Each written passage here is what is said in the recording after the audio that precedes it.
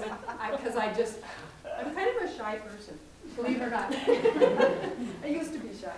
Okay, so what I do is I um, empty all of my paints into the watercolor um, uh, palette, and I let them dry for two days, you know, so that I like working with dry paints. Now, how many of you work with wet paints?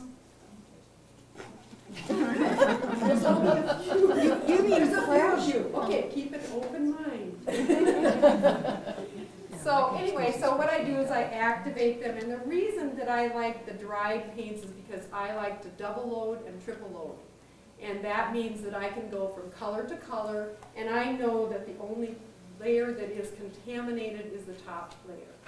So, anyway, so we'll wet, um, another thing I do different than a lot of instructors, um, is I tape my paper down instead of using the clips and, you know, whatever. Um, I, I think the clips get in the way, so I like it this way, and it doesn't, everybody says, does it warp too much, but it really doesn't. It, it holds it down, so, anyway. So I'm gonna wet the paper, and it sounds like I'm really scrubbing this hard, but I'm not. You don't wanna scrub it, you wanna just barely go along and just wet all of the surface. And check it. You see with all these lights how fast this dries. Um, what I do first is I want to have a white pathway through my painting for you to follow. So what I do is kind of a cruciform design, and so I like to have the areas of white go away from, not straight across, not like a, a cross, but I want, I want to be able to indicate to myself, okay, that's where I'm going to have the white pathway. And to start with, I use pretty much red, yellow, and blue. And, not that blue. Okay.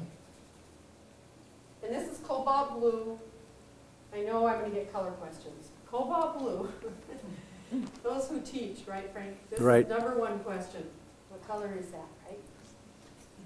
So, watch what happens when I triple load. Isn't that fun? Can you see that in the back or not? That's just going from color to color. Now, you can't do this unless the paints are dried for two days. Otherwise, you're gonna contaminate those. Now, another rule that I like to do is I like to have every corner different.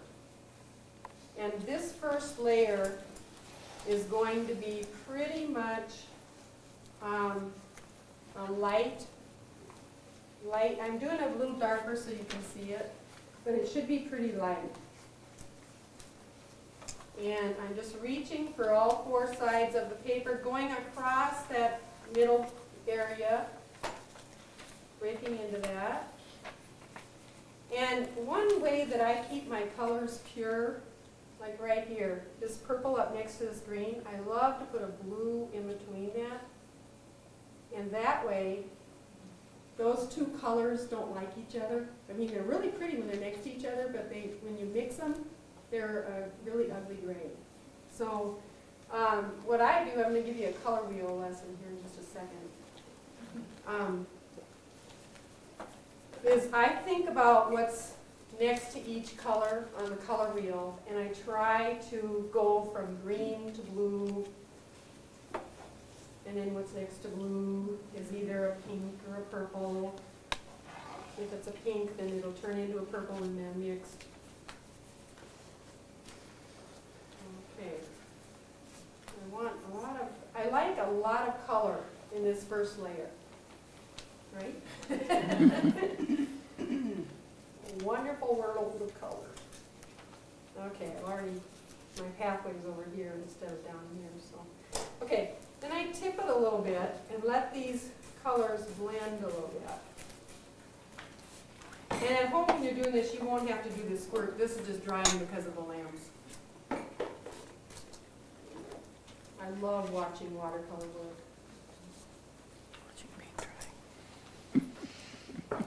So when it gets that juicy color or juicy texture like that, then I like to add salt. And when I work with florals, this is exactly the same process that I do when I'm doing a floral. Um, I kind of mark with circles where I want my, where I want my flowers. And then I try to avoid that area, but yet I love it when the background color comes into those flowers. So it's not ending up being a cutout flower that you just pasted on. So, um, so you do this first coat, and then I add a little salt um, for this particular painting.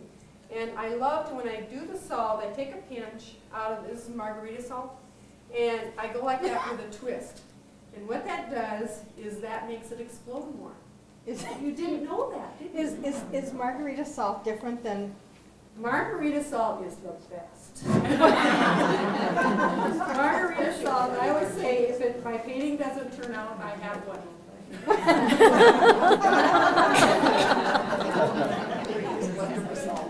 So where you have salt, you don't want that just in one area, but you don't want it all over the whole paper either. You just want, you know, just less is better. So I'm gonna put it in like three or four areas here.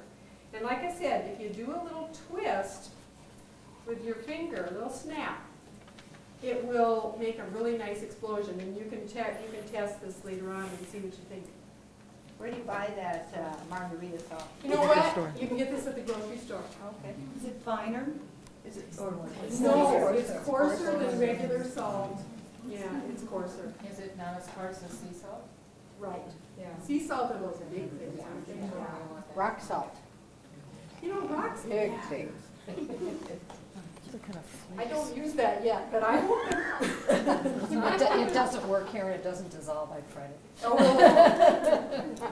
So anyway, um, I wipe off, I babysit my tape, being I'm a, I'm a taper. And, um, did you guys know there's a difference in tapes? This is probably why some of you don't use tape. Um, Manco tape, M-A-N-C-O, is the best. And I've got two of these, so I'm gonna send it around so you guys can see what it looks like. Where do you get it? Uh, I, it is getting harder to get a hold of, but Menards has it. And, um, Rainbow Foods used to have it, but they don't anymore. So, okay, so now I let this work. You see how I've got, I'm reaching with the white for all, I've got a white pathway going through, and I've got a lot of colors, so I'm open to be able to do different colors later. Um, I like to kind of keep, um, in this first layer, pretty much to the primary colors. Because if it's a blue, I can change that to everything except orange. You know, anything on the color wheel. And if it's, if it's a, um, yellow, I can change that to everything except purple. So it's, it, it gives you a lot more leeway when you kind of stay with the primary colors. I do like to have a few of the other colors in just because grays don't hurt later on, so. See the salt starting to work already? The front row can probably see this. Okay, put this aside. And I think I have to take the next one down, so I'll just put this one off. Getting this, Frank? Pardon? And so fast. Instant. And on that note about how fast, I know when beginners do salt, they usually think it's not working, it's not working, I'll add more, or I'll fuss into it, or whatever. Um, you know, you just have to put it on and let it go. And the less brush strokes you do, the better that salt will work. If you remember when you paint skies, how you only do a few strokes and you let it kind of bleed, um, that is what you want to do as far as salts. You, the less brush stro- strokes you have, the better off. So, okay, now I've got my indicators of my pathway again. We'll see if I'll listen to it this time. Um, Now, when I get this background on, I let it dry completely. It has to be dry for this next step. And um, tonight's demo is um, going to be seagull illusion. And I hope there are no wildlife painters in this group. Be quiet if you are. Anyway, um, that's why I like abstracts, you can't go wrong. You say, oh, I didn't do that. It's supposed to look like that, that wing is broken off. So, I'm gonna do, I love to draw my, draw whatever I'm going to use, and then, turn this the other way. I always like to turn them every which way and see where I wanna put. Okay, I'll my center of interest over here in this one. And I want to have the center of interest flying into the painting. And when I put this on here, I want, I don't want to put it totally in the white. That's what most people want to do. You want to have it where part of it is into the other color. And that's where these work out so nice and why, you know, masking doesn't work for this.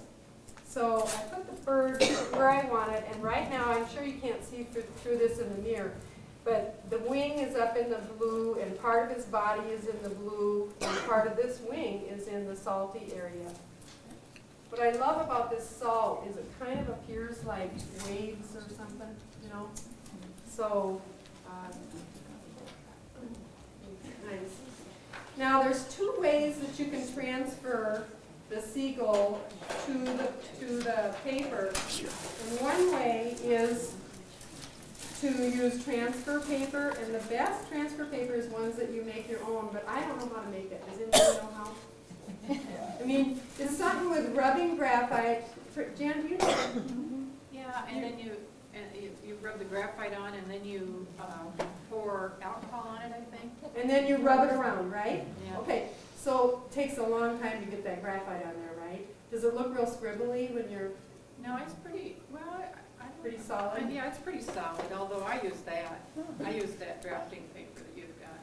Except, is this, is that what this is? This was, Drafting transfer this was given to me by a student. When you're a teacher, you are the luckiest person in the world. I have, I have more gifts from my students. I just, and I know who gave it to me too. So, um, I love getting gifts, but the problem is I don't know what I'm using. I just know I like it. And I went and I bought some and I brought it on, on purpose to show you what not to buy. Because the kind that you buy doesn't erase. At least this one that I bought does not erase. And I got it from Dick Blick, and it's called graphite transfer paper pen. That is the Okay. picture. Do not use this. You will not be able to erase your, erase your lines. My favorite way to do this, I'll show you how I do this first, but my favorite way to do it, now I just trace this. I've got the carbon side down. And um, my favorite thing to do is to hold this up to a glass door, sliding glass door or window, and have it on one side and then trace it through to the other side.